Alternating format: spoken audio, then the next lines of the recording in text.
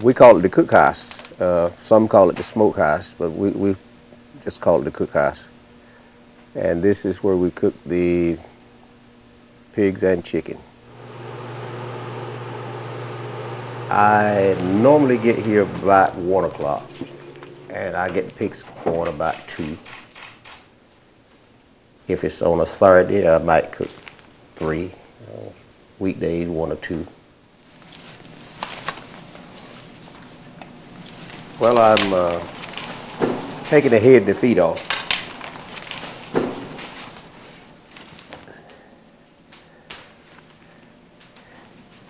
We, uh, we don't get much meat off the head, but we, you got it, so you might as well cook it. We use oak wood, of course, sometimes hickory if we got it. And it normally take about five to six hours to cook one. Depends on how you get your wood going. If I get some coal burned up where I can get out of there, we should be through in about five hours. And if we don't, we see we still got a couple of hours we can mess around on it. We'll have it ready by 10.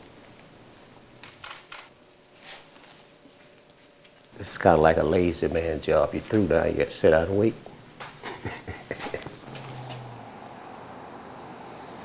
We're first stop on the barbecue trail. It's basically noting the places that cook it the old-fashioned way, cooking the whole pig over hardwood coals. In our opinion, anything less than that, you don't have real barbecue. I mean, that's, it, it sounds simple because it is simple. It's just hard work. And that's why it's, it's becoming a dying art.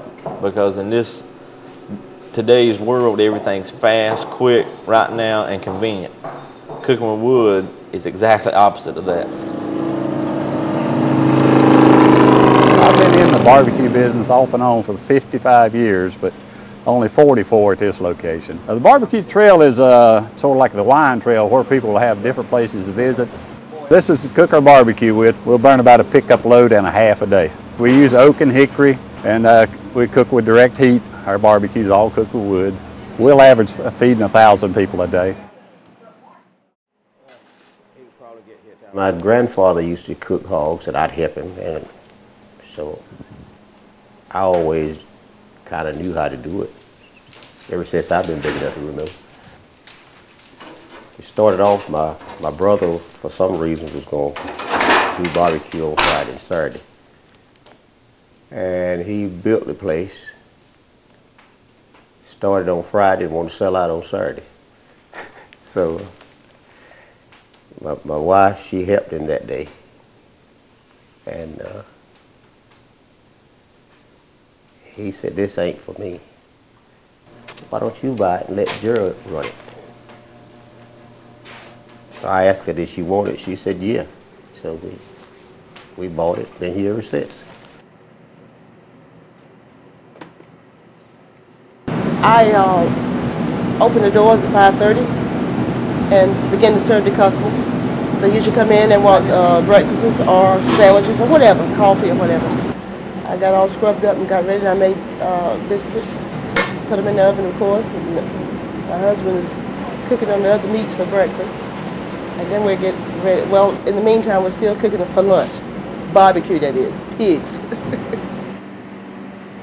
I remember Mama used to cook pies. I was always one when I was small. I'm sitting around in the kitchen watching. So I had an idea how to do it. So I just got there, stirred it up myself. It came out all right. Don't taste too much like sweet potatoes when you get through with it. When I get through cooking today, I do the shopping, tend to the cows, do a little bit of farming. Uh, in other words, I don't stay here too much after the day. I'll get going.